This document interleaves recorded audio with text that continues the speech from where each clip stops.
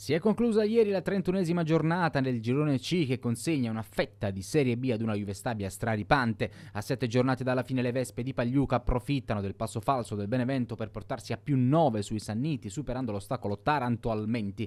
Finisce 2-1 con un super adorante che fa tutto nel secondo tempo. Una doppietta bellissima del numero 9 che mette a segno il decimo centro in 12 presenze coi giallo-blu. Media pazzesca per il bomber ex Triestina che dal suo arrivo a gennaio ha contribuito in maniera significativa significativa alla cavalcata della Juve Stabia. A nulla serve il gol di Simeri per la formazione di Capuano che accorcia le distanze ma non riesce a trovare il pareggio fino al triplice fischio. Dopo 5 gare torna alla vittoria del Picerno di Longo e lo fa in maniera roboante stendendo il Monterosi col pokerissimo 5 a 1 al Curcio. Apre le danze Sant'Arcangelo al minuto 39. Il raddoppio ad inizio ripresa è firmato da Diego Albadoro.